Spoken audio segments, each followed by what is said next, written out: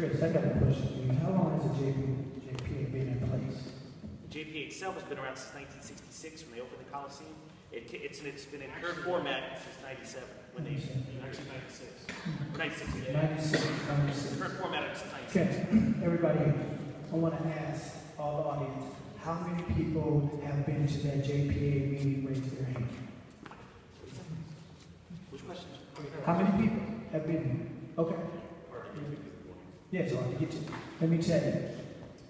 What's that saying? What did they say? Um, if you, if you continue to do the wrong things, insanity, is that what they say?